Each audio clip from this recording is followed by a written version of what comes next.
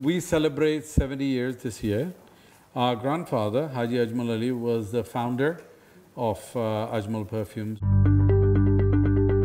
UAE is a melting pot where expats have lived here for generations and I'm here uh, at Ajmal Perfumes to meet Abdullah, his younger brother Asad and his cousin Mariam uh, who are part of a family business and uh, we are here to talk to them about how uh, they as third generation have been part of this family empire. The business empire has been so successful started by their grandfather back in the 50s and 60s and it is today such a successful business. We celebrate 70 years this year.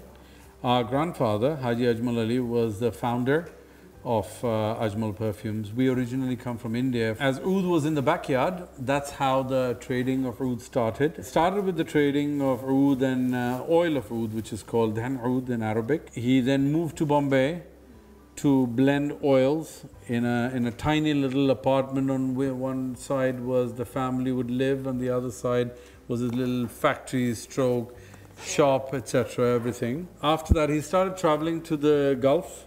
And at that time, I mean, uh, the, the, the, GCC Arabs have always had trade with Indians. It was early 60, I believe it's 61, when Dada came to Dubai for the first time. I say Dubai, but he landed in Sharjah at the time because uh, that was the airport at the time. He had come for a GCC tour. During that uh, trip, he happened to meet a lot of his friends and customers at the time. And he met the leaders of the country during that period. And he was extremely enamored by the vision of the leadership at the time. And so when it came time for his sons to sort of branch out, uh, he sent his second son, my uncle, Mr. Fakhruddin Ajmal, to Dubai to set up business. Our first store in, uh, in the Gulf was set up in, in Dubai. We opened our first store in 1976 in Dubai. We opened our 100th store in 2006 in UAE in Umm Al. Today, alhamdulillah, we have over 200, approximately 280 stores across the region. We export to about 45 countries around the world. And now we're sitting with the third generation. I'm the first of the third generation. And uh, Asad is my younger brother. Mariam is my little cousin sister. Her father, Nadir Ajmal was the nose of the company. He was my mentor. And today, uh, I'm very proud to say that Mariam has taken her father's place as the head of perfumery. It just seemed natural to me because my father was the head of perfume. Mm -hmm. And um, sometime near the end of high school, I don't know how it happened. I think maybe I was taking a gap year from between university and high school and university. And he was just like, just come to work with me. And um, he actually started training me in perfume and he recognized that I have a similar talent to him. And I had a good, um, a nose, I had a nose.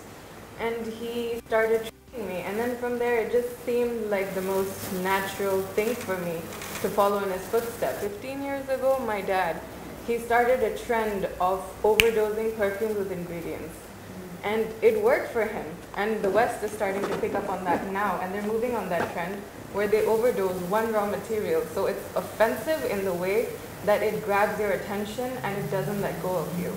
So that was something that he started. So he was a person who could see ahead, who could see the future. Maybe it wasn't the right time for him. It worked for us, alhamdulillah. We do hope the BMW to Boeing is, um, it is immense amount of pressure, but we do see a future there and inshallah, yeah. hopefully the kids should carry forward. For people who are in the business, the only thing one can say is that as long as you can hold on to your, whatever your roots are or whatever you're really, really good at, you know, this is the time to consolidate your strengths and stick to that. Be true to your customer. That's the most important thing.